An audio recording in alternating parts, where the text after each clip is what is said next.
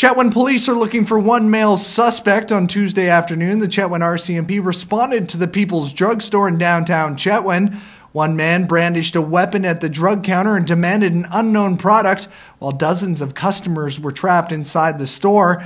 Witnesses were having trouble identifying the man, but one eyewitness, Tonia Richter, says he had one distinguishing feature. While I was shopping, apparently an armed robbery happened down at the pharmacy area. I didn't see it myself. I was down one of the aisles while I heard um, a little bit of talking going on, and then all of a sudden I heard silence, so I didn't think nothing of it. Well, we uh, uh, we normally actually uh, will um, we came to work actually like normally around nine. It was a very busy day because it's you know it's a long, it was a long weekend right, and we're expecting high volume of prescriptions right. So everyone was focused more than normal in the, in, in doing his or uh, or her tasks right. So we're uh, we're focused and there was a checking actually prescriptions uh, suddenly actually I found a scarred guy. I didn't see him. I didn't see him actually uh, entering behind the counter. I didn't see him. I just saw him just beside me. That was he was actually a scout so uh, like then I start to question what do you want? Right? Then he was holding a bag right? A big one a big one um, and uh, he was pointing he got like a gun like handgun actually uh, from the out of the bag and was pointing it to me. And he's saying actually like he's requesting uh, controlled medications right?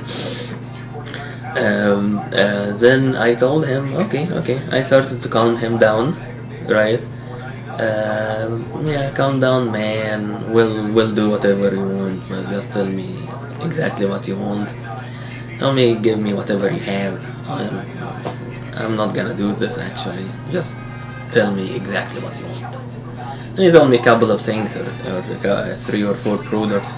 I gave him some. I told him, please, you can please leave. We don't want troubles here. Then he left. I followed him actually until he's out of the store I closed both exits of the store and uh, I I, uh, I made sure actually the back door is locked as well.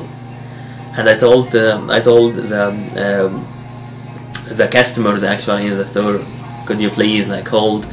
You don't guys you don't want guys to go out now. There is a man with a gun outside.